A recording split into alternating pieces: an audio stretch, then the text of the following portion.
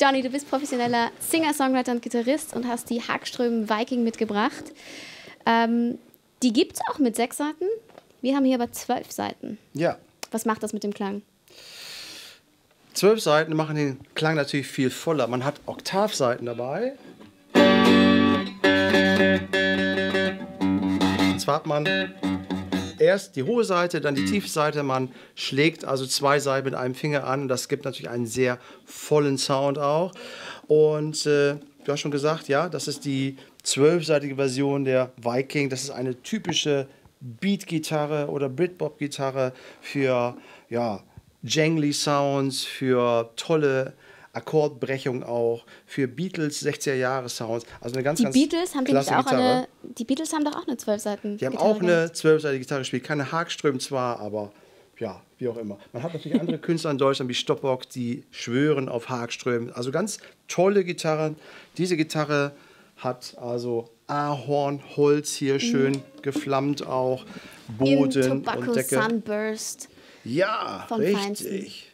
Wenig rot, viel Tobacco, viel braun, gelb in der Mitte. Sieht fantastisch aus. Also eine absolut klasse aussehende Gitarre. Man hat ja eben schon gehört, sie klingt toll. Ja, und das Auge spielt halt auch mit, ne? Ja, Schon. natürlich. Und die Gitarre hat natürlich entsprechende Beat-Sounds parat, die entsprechend schneiden. Wir kennen es natürlich hier von, von den Beatles auch, die zwölfseitigen Sounds.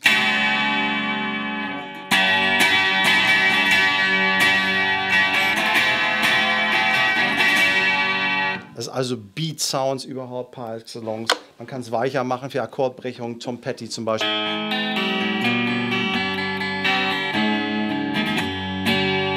Es gibt natürlich ein ganz berühmtes Lied von Led Zeppelin.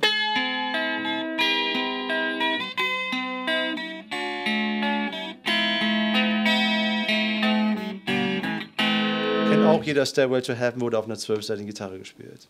Und natürlich, die Hagström macht das alles. Ja? Man hat also hier einen Pickup-Schalter zwischen Steg- und Hals-Pickup. Man kann einen brillanten Beatles-mäßigen Sound einstellen. Jangly in der Mitte und etwas wärmer, eben wie bei Stairway to Heaven. Dann entsprechend oben mit dem Hals Tonabnehmer. Sehr voll auch. Also eine tolle, tolle Gitarre. Ist das, wenn ich dich jetzt persönlich frage, würdest du eine sechsseitige oder eine zwölfseitige Gitarre bevorzugen? Also die sechsseitige Gitarre kann natürlich äh, öfter eingesetzt werden als eine zwölfseitige, aber wenn man einen speziellen Sound haben möchte, wie eben diese angesprochenen Lieder zum Beispiel, oder wenn man einem Stück eine besondere Note geben möchte, ist natürlich eine zwölfseitige was ganz Besonderes. Und diese Gitarre ist auf jeden Fall besonders. Wunderschön. Können wir noch ein bisschen was davon hören? Ein Von dem bisschen, besonderen ja. Klang? Ja. Etwas, was stiltechnisch besonders gut zu ihr passt. Die Beatles haben ja ein Stück äh, aufgenommen mit einer zwölfseitigen. Äh, das geht dann so.